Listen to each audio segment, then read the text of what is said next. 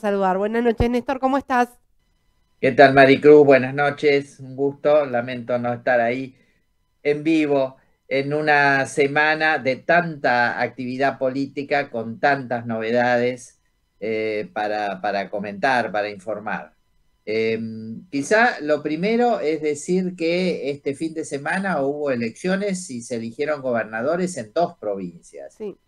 Formosa con un triunfo contundente, obtuvo el 70% de los votos Gildo Infran eh, y consigue de esa forma nuevamente su reelección. El pueblo formoseño parece que lo apoya, 70% de los votos eh, y es la, séptima elección de Gildo Infrano, el octavo mandato.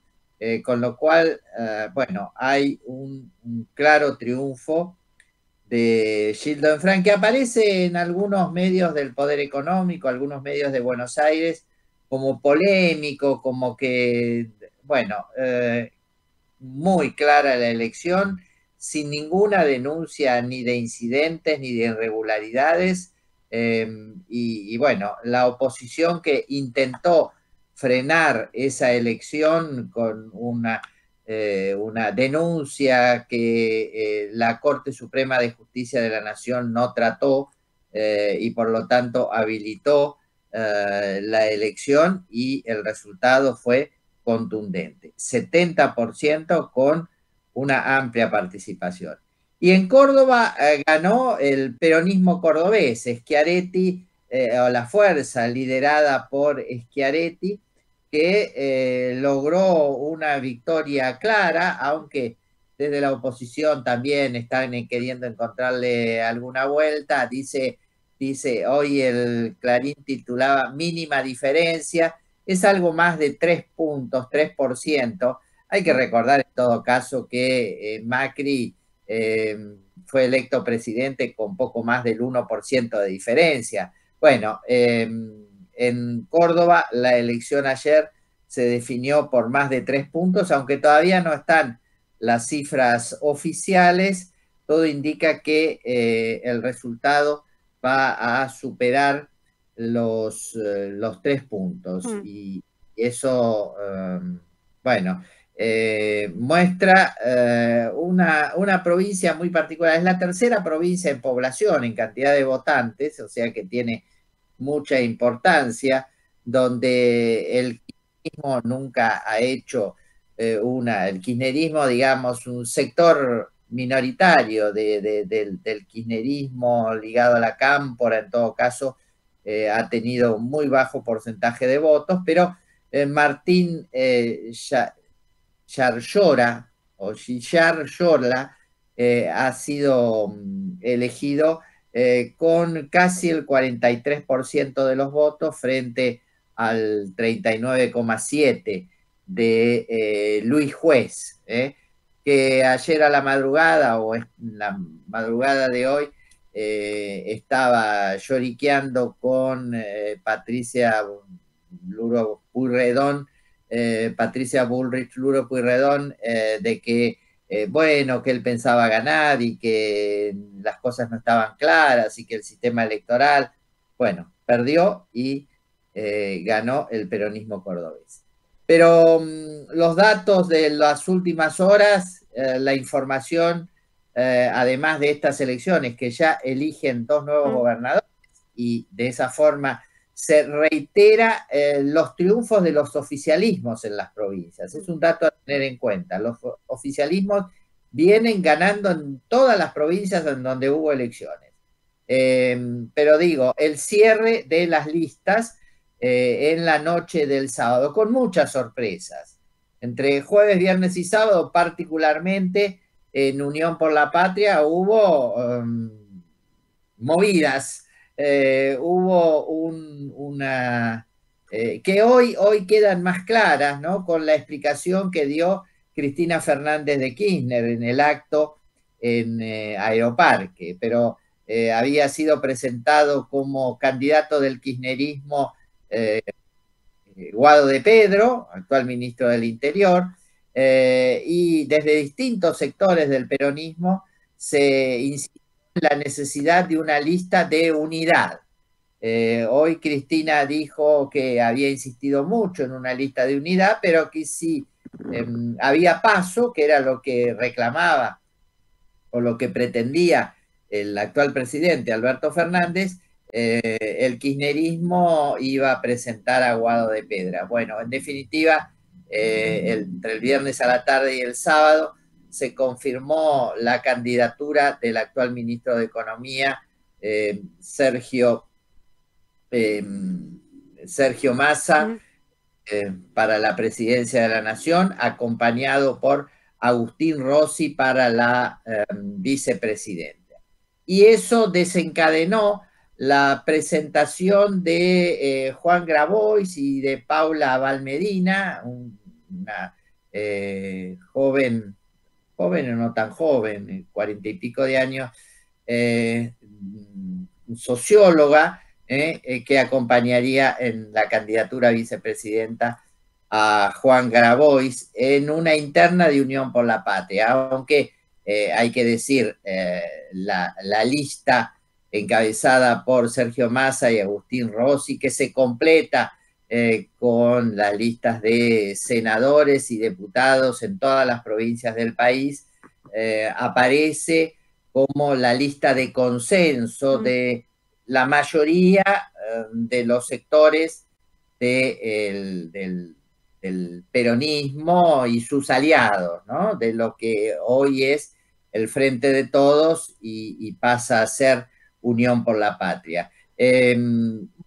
Da la chance de una elección y de la presentación de un sector eh, no conforme con eh, la candidatura de Sergio Massa. Bueno, estos, estos planteamientos que, se venían dando en estos días, bueno, y esta sorpresa y este malestar que, que se generó la presentación de esta lista de unidad que mencionás de consenso, eh, es en esto, ¿no? En, el no sentir la representación de Sergio Massa en sectores eh, populares, ¿no? O en eh, planteamientos que se venían realizando desde el sector de, Juan Grabois, ¿no? Ante la posibilidad en su momento de esta candidatura.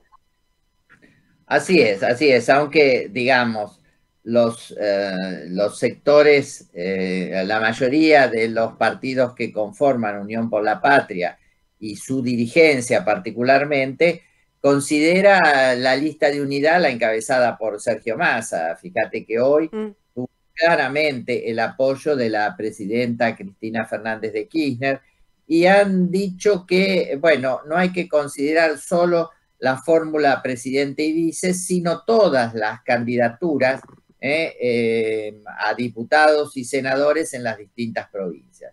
El sector del kirchnerismo más puro, más puro y duro, digamos, eh, tiene la mayor representatividad en la provincia de Buenos Aires con la candidatura de Axel Kisilov, de Guado de Pedro a primer senador y de em, Máximo Kirchner a primer diputado, digamos, una lista que se armó con los distintos sectores eh, que conforman Unión por la Patria. Esto es eh, una de las 14 fuerzas que se presentan para las PASO, para las primarias abiertas, eh, simultáneas y obligatorias que se van a realizar en agosto. Tres partidos son los que van a internas. ¿Cómo? Tres partidos son los que van a internas dentro de estas eh, precandidaturas. Eh, claro, van a internas, hay internas en Unión por la Patria, entonces hay interna en Juntos por, el, Cambio. Cambio que, que bueno, los enfrentamientos y las declaraciones han sido duros entre unos y otros y quieren presentarse ahora a ver quién es el más duro, quién es el más represor, quién es el que va a hacer más ajuste. Eh, Horacio Rodríguez Larreta, que hasta ahora aparecía más como supuestamente dialoguista, bueno, lleva como candidato a Gerardo Morales, elogiando la represión eh, y la dureza del gobernador de Jujuy. Mm y además llevando en sus listas como primer candidato a senador a Esper y como primer candidato a diputado a, Pichetto, que están cada día más a la derecha, digamos, con, con declaraciones eh, duras, de, en contra de derechos conquistados. Bueno, Patricia Bullrich, acompañada por un mendocino que perdió en Mendoza, Luis Petri, también un hombre claramente posicionado en la derecha, en alianza con el poder económico y con sectores digamos, que auspician la represión y la dureza del Estado frente a reclamos populares. Eh, pero también hay internas en la izquierda, en la izquierda tradicional. En el frente de izquierda compiten eh, dos, fórmulas, eh, a, pesar de que se llaman de unidad, no la logran y compiten por un lado Miriam Bregman con Nicolás del Caño impulsados por el Partido de los Trabajadores Socialistas y la izquierda socialista, y por el otro lado están Gabriel Solano y Vilma Ripoll, con el apoyo del Partido Obrera y el Movimiento de los Trabajadores Socialistas. Mm. Pero hay eh, otras presentaciones. Eh, Guillermo Moreno, por ejemplo, presenta su candidatura a presidente. Mempo Giardinelli, de eh, composiciones totalmente diferentes. Juan Schiaretti, hasta ahora gobernador de Córdoba y cuya fuerza triunfó en, Córdoba, ahora salta al escenario nacional presentándose como candidato a presidente acompañado por Florencio Randazzo. Eh, Florencio Randazzo que ya ha participado en todas las últimas elecciones eh, con muy poco caudal electoral. Aparece Julio Bárbaro como candidato a presidente, eh, Libres del Sur lleva a Jesús Escobar, el movimiento de izquierda, Juventud y Dignidad, em, Santiago Cuño y Gustavo Barranco, que no sé si tienen algo de izquierda, pero bueno, se llama movimiento de izquierda. Em, por política obrera se postulan em, Marcelo Ramal y Patricia Urones. el nuevo MAS lleva a Manuela Castiñera y Lucas Ruiz. Eh, el Frente Liberar, Pablo Golbi y Julio Archet, eh, y una candidatura realmente insólita, César Biondini, un nazi, eh, autodeclarado nazi, de, la extrema derecha antigua además, César Biondini también se presenta para estas pasos. Hay que recordar que en las pasos se resuelven las internas en donde hay más de una fuerza que se presente, es decir, Mm. Eh, para definir sus candidatos, pero también eh, es eh, el paso obligado para presentarse a elecciones. Es necesario llevar, llegar a superar el 1,5% del, de los votos válidos para poder participar de las elecciones generales. Bueno, creo que me había pasado el nombre de Javier Milei, por Victoria Villarruel. Eh, todo indica, todos los, actuales eh, análisis indican que es quien aparecía como un gran fenómeno electoral. Eh, esta peluca despeinada está cayendo en intención de votos y, eso le ha sucedido en todas las provincias donde hasta ahora se han realizado elecciones, con muy poco caudal electoral. Vamos a ver qué pueda pasar en las pasos, pero eh, aparece como un, outsider, un, recién él quiere aparecer como un recién llegado a la política, en realidad está en la política desde hace muchos años y eh, bueno, eh, no tiene una fuerza política organizada y, se ha caracterizado por sus declaraciones eh, insólitas, eh, sobre todo en la televisión. Así que estas son las candidaturas presentadas.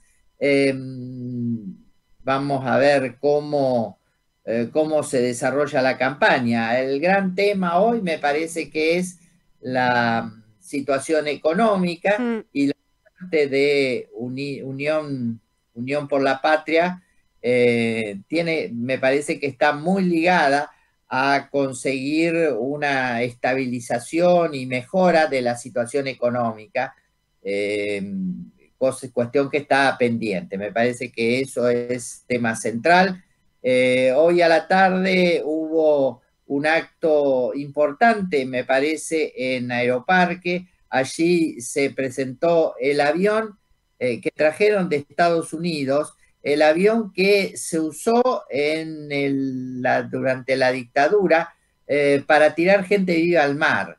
Eh, algo realmente eh, cuesta contarlo, ¿no? Pero bueno, hoy hijas de, em, víctimas de esos hechos, de esos trágicos hechos, lo contaron y, ahí está el avión, el avión desde donde se arrojó gente al mar en los en diciembre de 1977, ¿eh? entre ellos las primeras madres de Plaza de Mayo que se organizaban en la iglesia de Santa Cruz y las dos monjas eh, francesas mm. eh, que las acompañaban. y en ese acto, Cristina Fernández, además de agradecer a Pedro, um, a, Aguado de Pedro, su su actitud eh, en este proceso de definición de candidaturas y, de apoyar eh, y acompañar la designación de eh, Sergio Massa como precandidato, resaltó, resaltó la, la significación de este avión que es un símbolo del horror, del terror que pretendemos quede en el pasado de nuestra historia eh, sin que se repita nunca más. Así que, eh, bueno, em, hubo em, un discurso de, Sergio Massa en el que también reafirmó la necesidad de seguir trabajando en una mejora de la situación económica, en un en encontrar la forma de salir del desastre del préstamo con el Fondo Monetario Internacional, logrando un acuerdo para su refinanciamiento.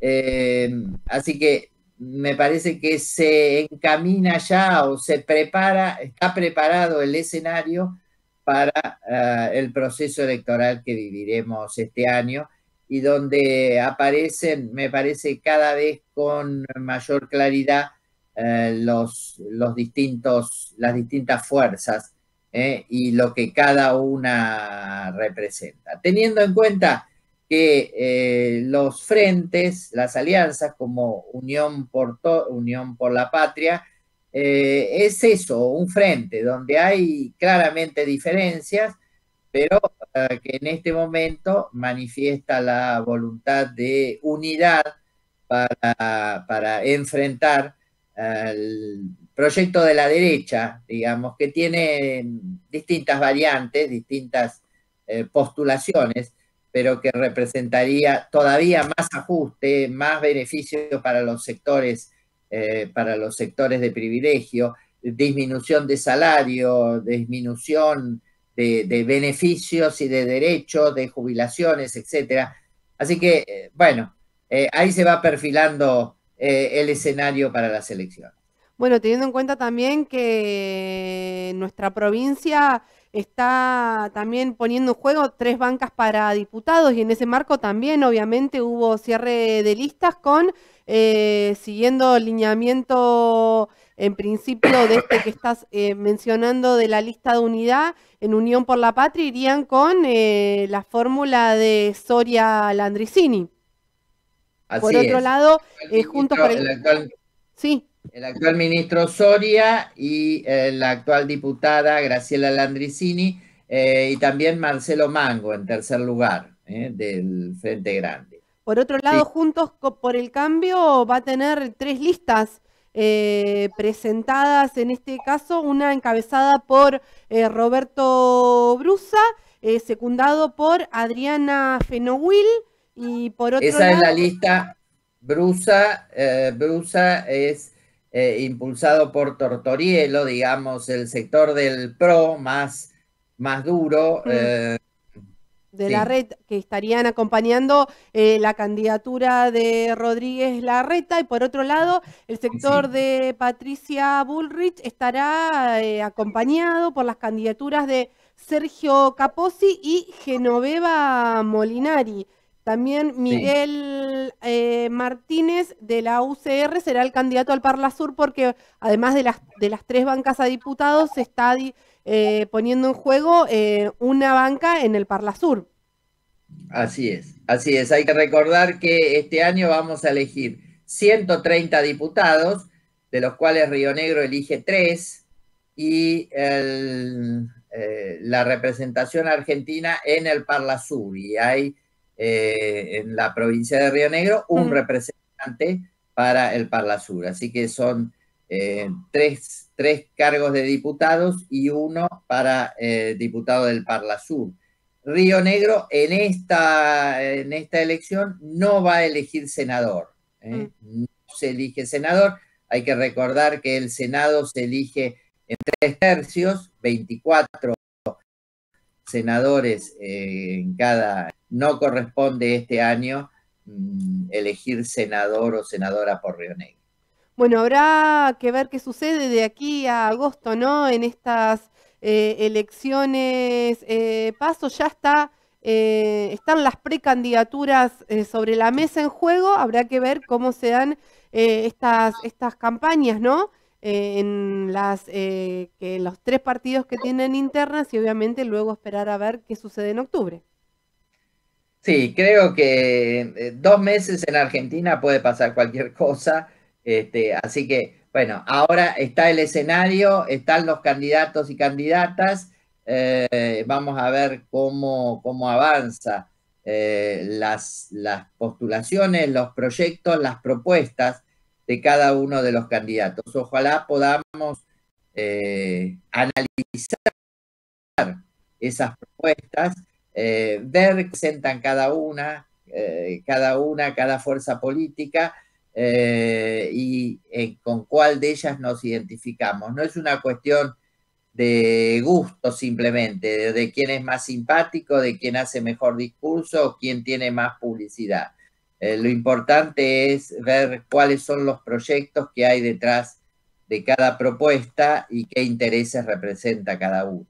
Así que tenemos bueno, dos meses y me parece que el dato clave aquí es cómo evoluciona la situación económica eh, y cuáles son las medidas de gobierno para, para enfrentar esta situación difícil que está viviendo el país. Así que dependiendo de eso será la posibilidad de, triunfo de del Unión por la Patria o eh, el avance de, eh,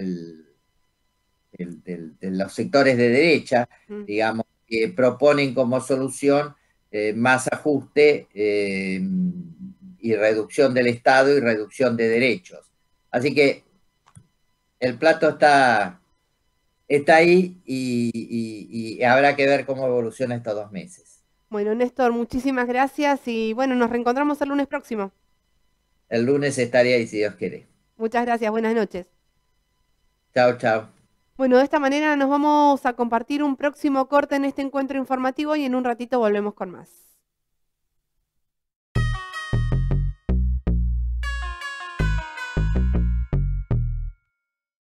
Esta noche, 21 horas.